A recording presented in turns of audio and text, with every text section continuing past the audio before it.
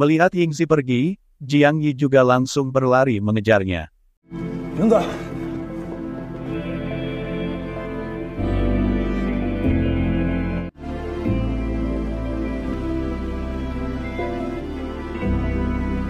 ，Sampai di rumah Yingzi masih termenung dan merasa sangat sedih, Jiang Yi berkali-kali menelepon Yingzi tapi dimatikan oleh Yingzi. Yingzi sangat marah sambil memukul-mukul bola glob pemberian dari Jiang Yi. Tiba-tiba ada telepon dari Ding Ye yang bertanya kepada Yingzi kenapa tidak jadi mewawancarainya pagi ini, malah menghilang sampai sekarang. Yingzi meminta Ding Ye untuk menemaninya hari ini karena sudah menganggap Ding Ye sebagai temannya. Yingzi mengajak Ding Ye pergi ke sebuah tempat karaoke, Yingzi menyanyikan sebuah lagu yang sangat sedih kemudian Yingzi mengaku bahwa dirinya tidak menyangka bisa berada di sini bersama idolanya sejak dari kecil dan kemudian mengajak Ding Ye untuk minum bersama. Yingzi juga mengucapkan banyak terima kasih kepada Ding Ye. Ding Ye bertanya apakah dirinya mabuk, Yingzi mengaku dirinya tidak mabuk tapi hanya sedikit mengantuk. Sementara Jiang Yi terus menelepon Yingzi, namun tetap tidak ada jawaban dari Yingzi. Jiang Yi juga banyak mengirimkan pesan kepada Yingzi dan mengatakan bahwa apa yang dilihat hari ini oleh Yingzi hanya salah paham. Yingzi terus minum dan bernyanyi dengan menangis membuat Ding Ye hanya melihatnya. Yingzi mengaku tidak pernah merasakan kebahagiaan itu setiap hari sejak bertemu dengan Jiang Yi. Yingzi tetap bahagia sebagai seorang sahabat, karena dirinya sebenarnya tidak hanya ingin berteman dengan Jiang Yi. Mendengar itu Ding Ye menyuruh Yingzi untuk langsung mengatakannya kepada Jiang Yi. Tapi Yingzi merasa takut apabila mengatakan semua itu kepada Jiang Yi, maka Jiang Yi dan Yingzi tidak bisa lagi berteman. Yingzi juga takut apabila Jiang Yi jatuh cinta kepada orang lain. Yingzi merasa Jiang Yi mempunyai leher yang begitu panjang, tapi mengapa Jiang Yi tidak bisa melihat cinta di hatinya dan menurutnya Jiang Yi seperti angsa putih yang besar, mendengar ocehan dari Yingzi, Ding Ye hanya bisa tersenyum. Yingzi beranggapan Jiang Yi seperti angsa putih besar yang lucu sekali dan kemudian Yingzi menyanyi lagi. Ding Ye mengantar Yingzi yang sedang mabuk berat kembali ke rumahnya, saat Ding Ye hendak membantu Yingzi untuk melepaskan sepatunya, Yingzi kembali mengoceh dirinya tidak mau sepatunya dilepas bila tidak di rumahnya sendiri. Saat Ding Ye hendak pergi, tanpa sadar Yingzi juga mengucapkan terima kasih kepada temannya yaitu Ding Ye. Terima kasih karena sudah menemaninya hari ini. Yingzi juga mengaku akan membantu Ding Ye untuk melakukan keinginannya yang terakhir dan kemudian langsung tertidur. Jiang Yi pulang ke rumah dan langsung duduk tanpa melepaskan sepatunya dan membuat Suang Yuan yang habis mengepel sedikit marah. Karena Jiang Yi hanya diam saja, Suang Yuan langsung bertanya kepada Jiang Yi apa yang sedang terjadi. Jiang Yi langsung meminta bantuan kepada Suang Yuan untuk menghubungi Yingxi. Yingzi yang masih tertidur dan sedikit mabuk terbangun karena suara dering ponselnya, Ying Yingzi kemudian mengangkat telepon dari Suang Yuan. Setelah menerimanya, ternyata itu suara Jiang Yi dan langsung bertanya kepada Ying Yingzi mengapa tidak menjawab telepon darinya, karena mabuk, Yingzi mengira itu adalah Suang Yuan. Jiang Yi bertanya apakah sedang mabuk dan dengan siapa dirinya minum, tapi Yingzi tidak menjawabnya. Kemudian Jiang Yi bertanya sekarang ada di mana, namun Yingzi masih tidak mau menjawab pertanyaan dari Jiang Yi dan bertanya mengapa dirinya harus menjawab semua pertanyaan darinya. Yingzi bertanya ada hubungan apa di antara kita, Yingzi merasa bahwa dirinya dan Jiang Yi hanyalah teman biasa, karena masih mabuk, Yingzi akhirnya terjatuh dari kursi dan langsung berteriak dan membuat Jiang Yi khawatir dengannya. Jiang Yi langsung berlari menuju rumahnya, karena sudah mengetahui kode pintu rumah Yingzi, Jiang Yi bisa langsung masuk ke rumahnya dan langsung bertanya apakah dirinya baik-baik saja. Yingzi merasa sedang berhalusinasi karena telah melihat Jiang Yi.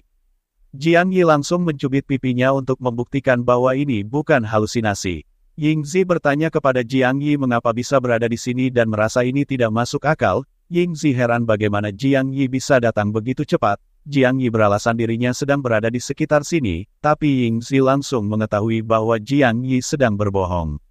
Adegan kembali pada saat masa-masa sekolah di mana Yingzi sedang belajar bermain skateboard dengan ditemani oleh Jiang Yi. Karena masih ada urusan, Jiang Yi pergi meninggalkan Yingzi menyuruhnya untuk berlatih sendiri. 那万一一会儿我我自己摔了咋办？ Saat Jiang Yi yang sedang bermain game ada telepon dari Yingzi yang sedang menangis dan meminta tolong kepada Jiang Yi. tapi Jiang Yi memberitahunya agar tidak membuat masalah karena dirinya sedang bermain game. Yingzi merasa kakinya patah dan tidak bisa bergerak sama sekali, tapi Jiang Yi masih tidak mau membantu karena menganggap Yingzi berbohong dan langsung menutup telepon dari Yingzi. Yingzi masih terus menangis karena merasa sangat kesakitan dan tidak bisa berdiri karena kakinya terluka.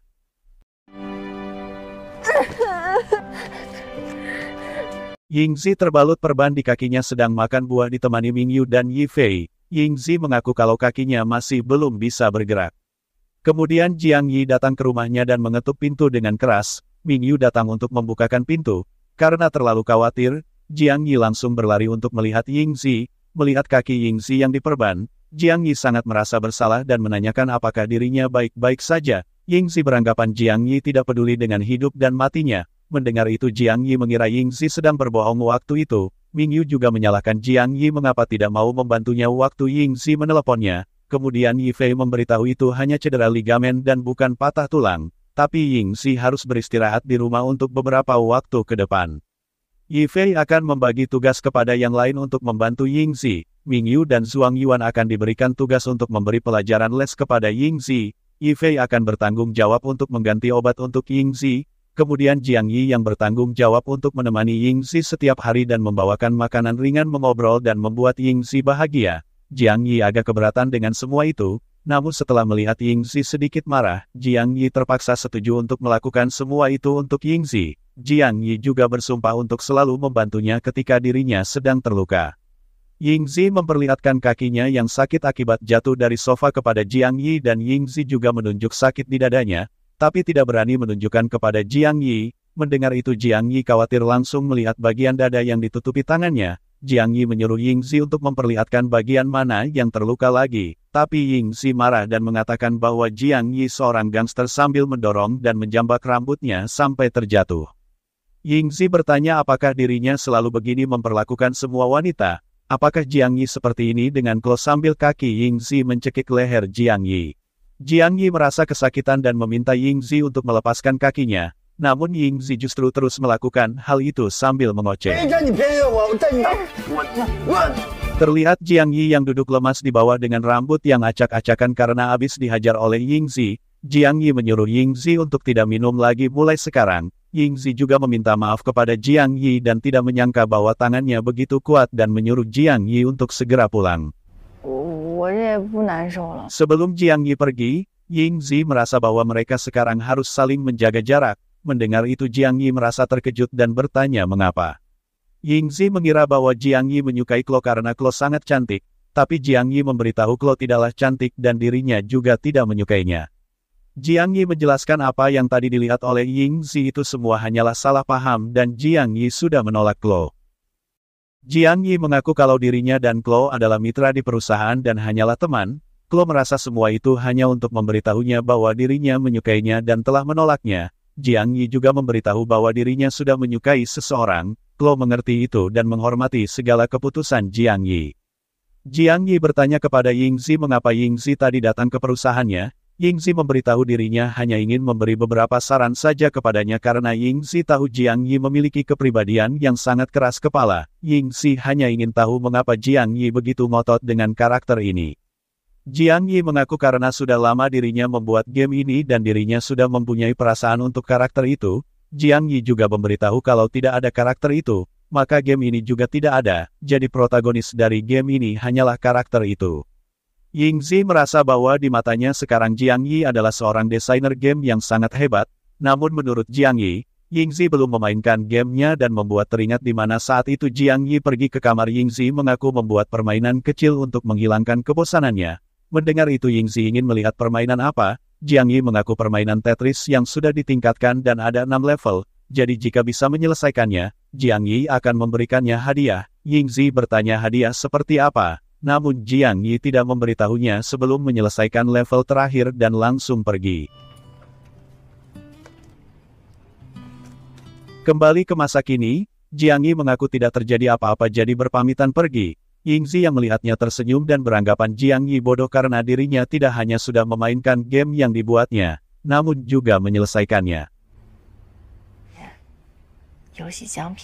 Saat Jiang Yi sudah di rumahnya, Zhuang Yuan ingin tahu, namun Jiang Yi mengaku tidak terjadi apa-apa dan membuat Suang Yuan kecewa. Kemudian sebelum Suang Yuan pergi, dirinya memberitahu perakiraan cuaca besok di mana akan turun hujan dengan suhu 15 derajat Celcius.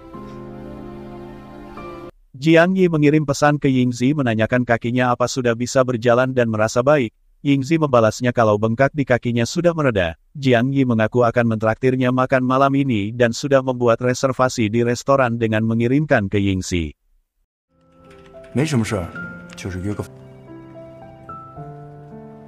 Jiang Yi sudah menunggu Yingzi di restoran tempat yang dijanjikan, kemudian Yingzi mengirim pesan meminta maaf untuk anggurnya karena bekerja lembur hari ini. Jiang Yi mengaku tidak apa-apa dan Yingzi menyuruh menunggunya karena akan segera ke sana. Namun di saat Yingzi sudah selesai bekerja, Ding Ye sudah di sana dan langsung memegang tangan Yingzi untuk menemaninya ke suatu tempat, namun Yingzi memberitahu kalau punya janji dengan seseorang malam ini. Ding Ye mengaku akan menyelesaikan item terakhir sesuai keinginannya. Yingzi bertanya apa harus terwujud malam ini, namun Ding Ye tetap memasukkan Yingzi ke mobilnya. Setelah sampai di tempat, Yingzi ingin memberitahu Jiang Yi, namun karena ponselnya tidak ada sinyal, Yingzi bertanya apa ponselnya ada sinyal, Ding Ye menyuruh jangan melihat ponselnya karena sudah pasti tidak ada sinyal, itu sebabnya mengajaknya ke sini. Yingzi beranggapan item terakhir adalah pergi ke puncak gunung dengan makan barbecue atau berkemah saat hujan. Ding Ye memberitahu ingin melihat matahari terbit dan membuatnya terkejut dan beranggapan ada di sini sampai besok pagi. Ding Ye mengaku ini permintaan terakhirnya, jadi menyuruhnya menemaninya, mendengar itu Yingzi menyuruh menunggunya sebentar. Sementara itu Jiang Yi yang sudah lama menunggu diberitahu pelayan restoran kalau restorannya sudah mau tutup, namun Jiang Yi meminta memberinya waktu 20 menit lagi. Yingzi masih mencari sinyal dan akhirnya mendapat sinyal dan langsung menelepon Jiang Yi dan bertanya apa mendengarnya. Jiang Yi memberitahu kalau dirinya berada di pegunungan bersama Ding Ye dalam situasi darurat, jadi tidak perlu menunggunya, namun sinyal yang tidak stabil membuat Jiang Yi tidak mendengar sepenuhnya. Jiang Yi ingin menelepon Yingzi namun tidak bisa. Jiang Yi sebenarnya sudah membawa payung bergambar ikan paus itu dan memberinya kejutan tapi lagi-lagi perjalanan cinta mereka tidak berjalan dengan baik dan membuat Jiang Yi menangis.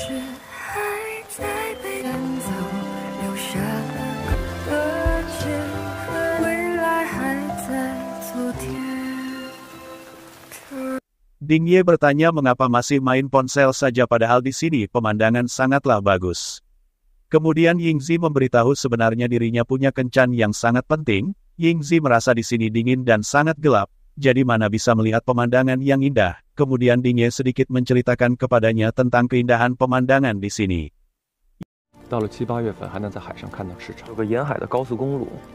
Yingzi bertanya bagaimana dirinya bisa begitu familiar dengan tempat ini, Ding Ye mengaku waktu dirinya masih sekolah dulu sering naik bis dan lewat daerah sini. Yingzi juga bertanya mengapa Ding Ye memilih tempat ini untuk keinginan yang terakhirnya. Ding Ye memberitahu karena seseorang telah memberitahunya bahwa matahari terbit setelah hujan di Sishan sangatlah indah, jadi dirinya ingin melihat dengan matanya sendiri. Saat berada di rumahnya, Jiang Yi masih mencoba untuk menghubungi Yingzi, namun selalu gagal. Jiang Yi juga selalu memandang ke apartemennya, tapi melihat lampu padam artinya Yingzi belum kembali ke rumah. Kemudian Jiang Yi melihat foto-foto saat bersama kelima temannya dan membuat teringat masa lalu. Kembali saat masa-masa sekolah, Jiang Yi duduk sebangku dengan Yi Fei. Guru menyuruh semua murid untuk mengerjakan soal modul 5 dan 3 dan guru akan melakukan pemeriksaan langsung besok. Waktunya istirahat sekolah, Jiang Yi memasang headset di telinganya. Yi Fei memberitahu kepada teman di belakangnya bahwa dirinya telah mendaftar ke Central Academy of Dance. Kemudian Guan Chao datang dan ikut mendengarkan percakapan Ying Xi dengan teman di belakangnya. Guan Chao memberitahu karena Yi Fei akan pergi ke Beijing, Guan Chao juga akan pergi ke sana. Jiang Yi melihat ke arah jendela dan melihat Ying Xi yang tengah belajar dengan serius. Jiang Yi melihat formulir semua siswa yang akan mendaftar ke Beijing, Tiba-tiba guru datang dari arah belakang dan langsung memarahinya karena beranggapan nilainya rendah. Jadi mana bisa ikut mengisi formulir ke Beijing? Tanpa menjawabnya Jiang Yi langsung bergegas pergi. Jiang Yi tidak sengaja bertemu dengan Ying Zi, tapi Jiang Yi mengabaikannya dan membuat Ying Zi mengikuti Jiang Yi dan bertanya mengapa mengabaikannya. Yingzi bertanya kepada Jiang Yi apakah sulit bagi dirinya untuk bisa membuat game untuknya. Yingzi juga mengajak Jiang Yi untuk makan pangsit nanti malam, tapi Jiang Yi tetap diam dan tidak mempedulikan Yingzi dan membuat Yingzi kebingungan. Semua orang berkumpul di kedai nenek kecuali Jiang Yi, mereka mengobrol akan mendaftar ke universitas mana, tapi Yingzi hanya diam dan melamun sampai semua orang memanggil namanya baru dirinya tersadar dan langsung pergi menaiki sepedanya. Jiang Yi tiba di rumah dan disambut oleh ayahnya dan juga ibunya. Ibunya mengaku baru saja memasak rocker asam manis untuknya, tapi Jiang Yi tidak mempedulikannya dan langsung masuk ke kamarnya. Tiba-tiba Yingzi masuk membuka pintu rumah Jiang Yi yang membuat kedua orang tuanya terkejut. Begitupun Yingzi juga terkejut melihat ayah dan ibu Jiang Yi, Ibu Jiang Yi menyuruh Ying Zi langsung masuk ke kamar Jiang Yi, tapi ternyata pintunya dikunci oleh Jiang Yi. Ying Zi terus mengetuk pintunya dan bertanya ada apa dengannya. Jiang Yi tidak mau membukakan pintu dan langsung memakai headset di telinganya. Kemudian Ying Zi pamit pergi ke orang tuanya. Jiang Yi, ya.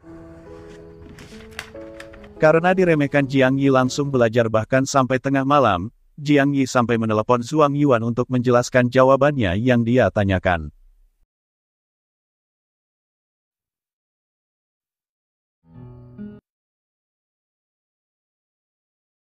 Keesokan harinya Jiang Yi juga berdiskusi dengan Zuang Yuan dan malam harinya dirinya belajar lagi sampai tengah malam lagi hingga membuatnya mengantuk, namun bangun lagi untuk belajar, sampai-sampai saat sarapan dia tertidur. Saat gurunya di kelas membacakan nilai ke semua murid, Jiang Yi dipanggil di depan kelas dan ternyata Jiang Yi memperoleh nilai yang paling tinggi di kelasnya dengan 102 poin dan membuat temannya bertepuk tangan. Tidak ada reaksi apa pun dari Jiang Yi karena dirinya tidak menyangka dan saat mau keluar dari kelas, gurunya bertanya mau ke mana, Jiang Yi mengaku ingin ke kamar mandi, namun setelah keluar dari kelas, Jiang Yi langsung mengekspresikan semuanya dengan berteriak kalau dirinya jenius dan berlari.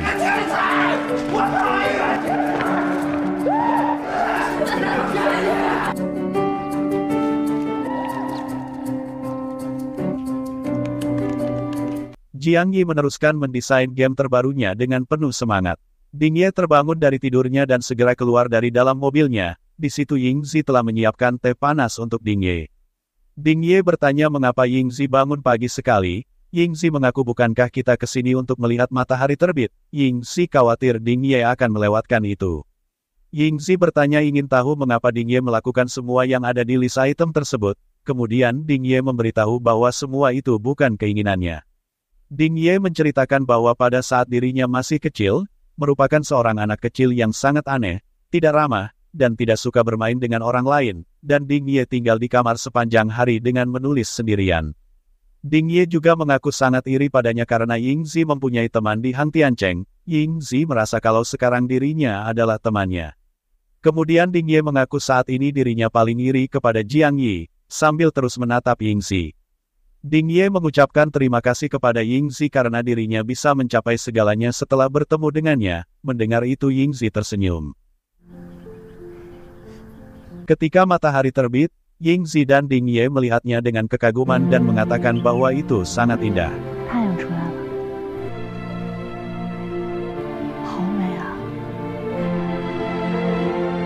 Jiang Yi masih terus mendesain game barunya sampai mengantuk, tiba-tiba Zhuang Yuan berdiri di belakangnya dan membuat Jiang Yi sangat terkejut.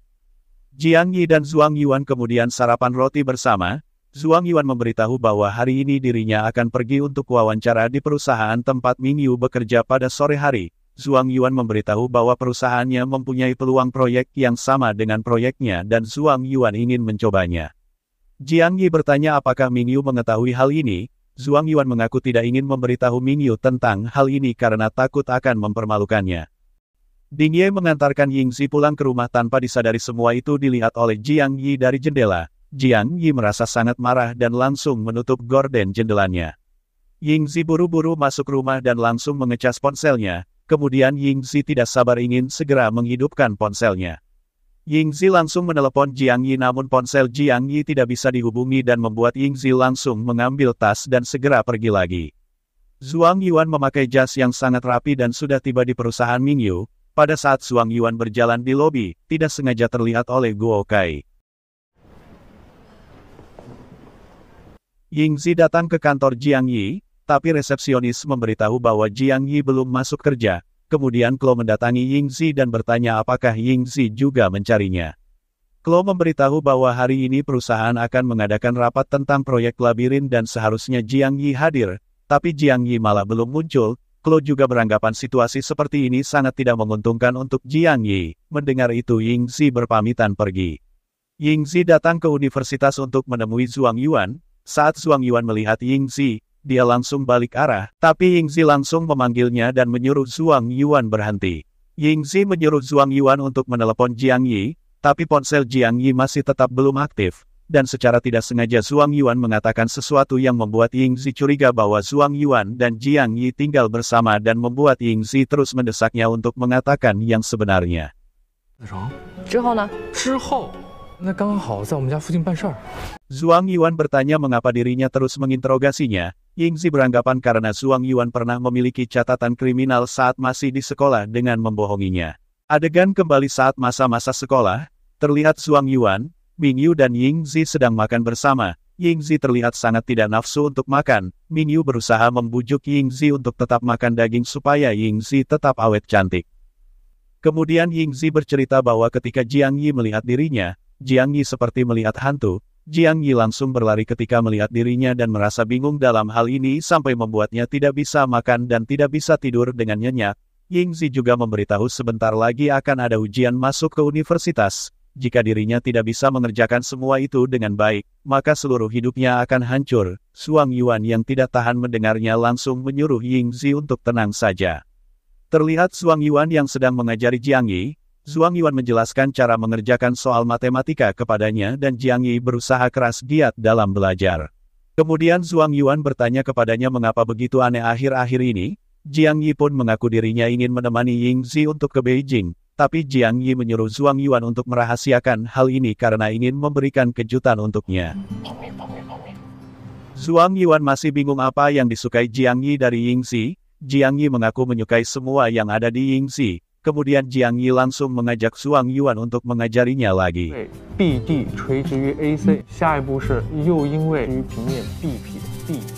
Suang Yuan, Mingyu dan Ying Zi melihat hasil skor tes yang telah dikerjakan Jiang Yi dan mengalami banyak kemajuan. Zhuang Yuan memberitahu bahwa dirinya baru pertama kalinya melihat Jiang Yi melakukan sesuatu yang sangat serius. Mendengar itu Ying Zi sangat terharu melihat semua nilai Jiang Yi sampai dia ingin menangis. Zuang Yuan juga bercerita ketika Jiang Yi mengantuk, Jiang Yi akan menggambar seekor ikan paus dan itu membuat Jiang Yi tidak mengantuk lagi. Ying Zi sangat senang dan terharu saat melihat gambar ikan paus yang digambar oleh Jiang Yi sampai meneteskan air mata.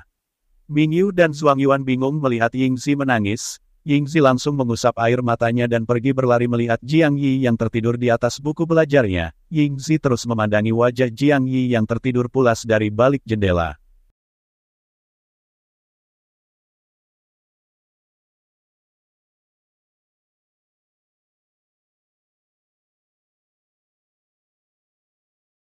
Saat Jiang Yi terbangun dari tidurnya dan melihat sebotol minuman yang bertulis kata-kata semangat dari Ying Zi, Jiang Yi langsung tersenyum. Jiang Yi dan Ying Zi pulang bersama dengan menuntun sepedanya, Ying Zi beranggapan Jiang Yi sangat bodoh karena Jiang Yi selalu mengikutinya ke mana pun pergi, tapi Jiang Yi langsung berjalan cepat berada di depannya dan menyuruh Ying Zi untuk mengikutinya. Ying Zi tersenyum dan mengaku akan selalu mengikutinya. Ying Zi memberitahu mulai hari ini dirinya memanggilnya dengan Jiang Dakmaut. Tiba saatnya Yingzi dan kelima temannya mengikuti tes ujian masuk ke perguruan tinggi.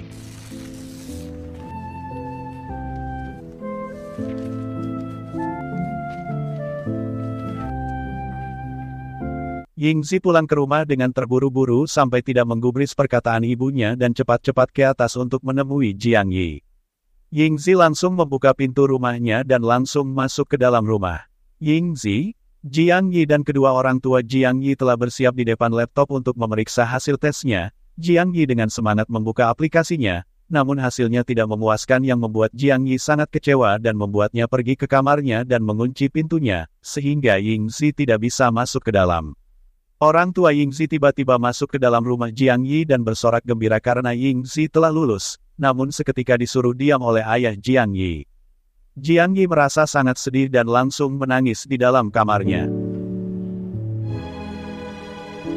Ibunya mengetuk pintu dan mengaku akan masuk ke dalam kamarnya, Ibunya memberitahu membawakan segelas susu dan menyuruh Jiang Yi untuk segera meminumnya, tapi Jiang Yi malah berpura-pura sudah tertidur. Alhasil ibunya menyuruh agar jangan terlalu sedih karena ibunya sudah melihat kerja kerasnya selama ini. Ibunya mengaku akan mencarikan universitas yang bagus di Inggris. Mendengar itu Jiang Yi terkejut dan langsung bangun. Jiang Yi bertanya kenapa harus pergi ke Inggris, Jiang Yi marah ke ibunya karena ibunya tidak membicarakan hal ini terlebih dahulu dengannya dan Jiang Yi tidak ingin pergi ke Inggris. Kemudian ibunya pergi meninggalkan Jiang Yi. Yingzi dan kelima temannya sedang berkumpul bersama, mereka membicarakan tentang Jiang Yi yang akan pergi ke universitas di luar negeri. Tapi Jiang Yi mengaku dirinya tidak tertarik untuk belajar ke luar negeri. Semua orang mencemaskan Jiang Yi karena semuanya sudah bisa masuk ke universitas pilihan dan hanya Jiang Yi yang gagal tes ujian. Tapi Jiang Yi tidak mempermasalahkan semua itu, kemudian Ying Zi merasa sudahlah dan terserah Jiang Yi saja dan langsung pergi. Ying Zi dan Jiang Yi pulang ke rumah Ying Zi, Ibu Ying Zi yang telah menyiapkan makanan juga langsung menyuruh Jiang Yi untuk ikut makan bersama. Namun Ying Zi memberitahu Ibu Jiang Yi sudah ada di rumahnya, Kenapa masih repot menyiapkan makan untuk Jiang Yi? Mendengar itu ibu Yingxi bingung dengan kelakuan Yingxi. Eh. Ya. Ayah. Oh. Eh. Jiang Yi makan bersama dengan Yingxi dan kedua orang tuanya. Ayah Yingxi melihat ada yang aneh antara Jiang Yi dan Yingxi. Jiang Yi mencoba untuk mengambilkan udang goreng untuk Yingxi, tapi Ying Yingzi langsung menolaknya dan membuat semua orang bingung dengan kelakuan aneh Ying Yingzi karena biasanya Ying Yingzi sangat suka dengan udang. Karena suasana menjadi sangat canggung, Ibu Ying Yingzi mencoba bertanya kepada Jiang Yi apakah ada rencana untuk liburan musim ini. Jiang Yi memberitahu bahwa mereka berenam akan pergi ke Jiushai Go untuk tur, tapi lagi-lagi Ying Zi memberitahu bahwa dirinya tidak akan ikut pergi ke sana. Ying Zi sedikit marah kepada Jiang Yi dan langsung meninggalkan meja makan dan membuat Jiang Yi sangat sedih.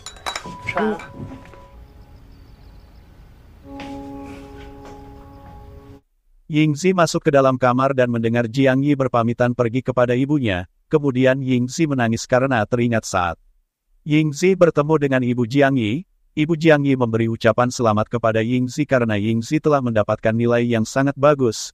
Ibu Jiang Yi bercerita kepada Ying Zi bahwa Jiang Yi suka dengan desain game dan ibunya sudah mencarikan universitas di Inggris yang cocok untuk Jiang Yi, namun tiba-tiba Jiang Yi tidak ingin pergi ke Inggris. Ibu Jiang Yi tahu bahwa orang yang paling disayangi Jiang Yi adalah Ying Zi dan Jiang Yi tidak mau meninggalkannya. Ibu Jiang Yi sangat berterima kasih dan memohon kepada Ying Zi untuk membujuk supaya Jiang Yi mau pergi belajar ke Inggris. Mendengar itu Ying Zi mengerti dan akan membujuk Jiang Yi. 我知道该怎么做。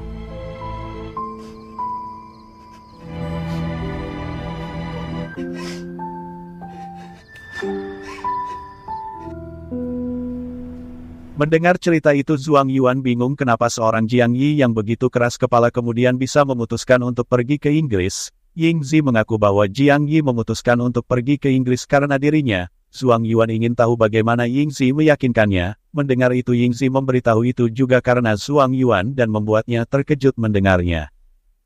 Ying Zi mengingat kejadian saat di mana Zuang Yuan sedang mengajar untuk murid lesnya. Zuang Yuan mendapat telepon dari Ying Zi kalau ingin bertemu dengannya. Ying Zi berdandan sangat cantik mengenakan gaun untuk pergi menemui Zuang Yuan. Zuang Yuan masih bingung untuk apa Ying Zi mengajak dirinya bertemu, namun Ying Zi langsung mengajak Zuang Yuan pergi berjalan-jalan. Zuang Yuan yang bingung hanya mengikuti Ying Zi. Ying Zi bercerita bahwa sebenarnya Ying Zi mengetahui bahwa Jiang Yi mempunyai sebuah mimpi sebagai seorang desainer game. Ying Zi merasa sangat senang karena Ying Zi menjadi orang pertama yang mengetahui mimpi Jiang Yi. Zuang Yuan bertanya kepada Ying Zi kenapa akhir-akhir ini Ying Zi bertingkah sangat aneh. Ying Yingzi hanya diam dan melihat jam tangannya sambil menangis dan membuat Suang Yuan bingung dengan tingkah Ying Yingzi. Setelah selesai bermain game, Jiang Yi langsung pulang dengan menuntun sepedanya. Tiba-tiba Ying Yingzi menggandeng tangan Suang Yuan dan mengajak Suang Yuan berjalan dan membuat Suang Yuan bingung kenapa Ying Yingzi memegang tangannya dan mencoba untuk melepaskannya, Ying Yingzi mengaku dirinya akhir-akhir ini selalu dikejar oleh seorang anak laki-laki dan mencoba untuk melecehkannya jadi meminta bantuannya untuk melakukan pertunjukan ini yang bertujuan untuk meledek anak laki-laki tersebut. Dan saat Jiang Yi melihat Yingzi dan Zuang Yuan berjalan bergandengan tangan terlihat sangat bahagia, Jiang Yi sangat kecewa melihatnya. Yingzi tetap menggandeng tangan Zuang Yuan dan melarang Zuang Yuan untuk menoleh ke belakang dan membuat Zuang Yuan menurutinya. Yingzi menoleh dan tahu kalau Jiang Yi juga berjalan di belakangnya. Jiang Yi terus melihat ke arah Yingzi dengan tatapan sangat sedih dan cemburu. Merasa tidak kuat, Jiang Yi langsung berbalik arah dan pergi. Ying Zi yang melihatnya hanya bisa menangis. Suang Yuan bertanya kenapa menangis lagi.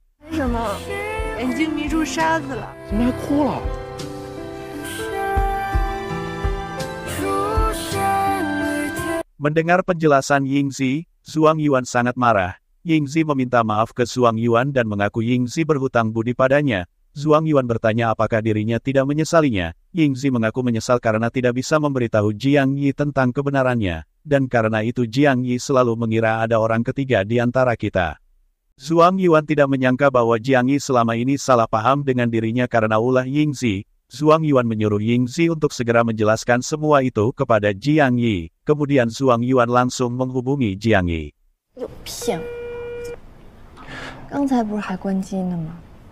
老贾，Jiang Yi datang ke sebuah kafe untuk menemui Zuang Yuan dan Yingzi langsung datang sambil membawa minuman, tapi ketika melihat Yingzi, Jiang Yi memutuskan untuk segera pergi.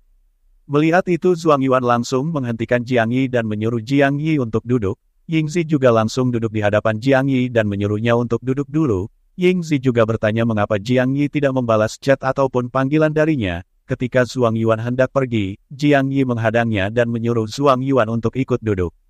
Yingzi meminta maaf kepada Jiang Yi dan akan membelikan apa pun minuman yang ingin diminumnya, namun Jiang Yi menyuruh Zuang Yuan untuk mengatakan kepada Yingzi bahwa dirinya tidak ingin meminum apa pun, karena Jiang Yi beranggapan bahwa Zuang Yuan adalah seorang perantara dirinya dan Yingzi. Mendengar itu Zuang Yuan hanya bisa pasrah dan menyampaikan apa yang dikatakan Jiang Yi kepada Yingzi. Kemudian Yingzi meminta bantuan kepada Zuang Yuan untuk menanyakan kapan Jiang Yi bisa merasa sedikit lebih tenang. Zuang Yuan langsung menyampaikannya. Jiang Yi mengaku dirinya marah karena Yingzi tidak menepati janjinya. Mendengar itu Ying memberitahu bahwa hari itu darurat dan tidak bermaksud untuk mengingkari janjinya. Mendengar Jiang Yi dan Yingzi, Zuang Yuan merasa pusing sendiri dan langsung memarahi mereka berdua. Kemudian Zuang Yuan menyuruh Yingzi untuk menjelaskan semuanya kepada Jiang Yi. Yingzi mengaku hari ini dirinya ingin meminta maaf dengan tulus kepada Jiang Yi dan berharap Jiang Yi memberikan kesempatan untuk dirinya menjelaskan semua itu. Yingzi menceritakan pada hari itu melihat Dingye berdiri di depan pintunya dan langsung menarik tangannya untuk masuk ke dalam mobil tanpa memberitahunya akan diajak ke mana, dan ternyata dirinya diajak pergi ke gunung dan tidak ada sinyal di gunung. Mendengar itu Jiang Yi langsung marah dan menyalahkan Yingzi kenapa tidak berjalan pulang malah harus tinggal di sana sepanjang malam. Yingzi mengaku ingin pergi, tapi Ding Ye ingin melihat matahari terbit dan dirinya tidak bisa menolaknya. Mendengar itu Jiang Yi malah semakin marah dan Yingzi hanya bisa diam saja. Jiang Yi bertanya apakah ingat kapan terakhir kali Yingzi berada di meja kafe ini. Jiang Yi mengingatkan kalau dirinya pernah berkata hanya berteman dengan Ding Ye, tapi Yingzi pergi meninggalkan Jiang Yi karena Ding Ye. Jiang Yi bertanya apakah dirinya juga bukan temannya. Yingzi memberitahu bahwa Jiang Yi tidak sama dengan Ding Ye.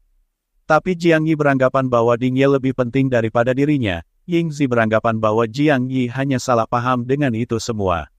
Zuang Yuan semakin pusing dan langsung menyuruh Jiang Yi dan Yingzi untuk berhenti berdebat karena dirinya merasa sangat malu untuk menyaksikan semua ini. Zuang Yuan merasa Yingzi melakukan semua ini untuk membiarkan Jiang Yi pergi ke luar negeri dan menjadikan Zuang Yuan sebagai kambing hitam. Zuang Yuan akan keluar dari sini dan berharap Jiang Yi serta Yingzi bisa berbicara secara terbuka dan menyelesaikan semua kesalahpahaman sebelumnya. Tapi Jiang Yi mengaku bahwa dirinya sudah mengetahui semuanya dan membuat Suang Yuan serta Yingzi terkejut.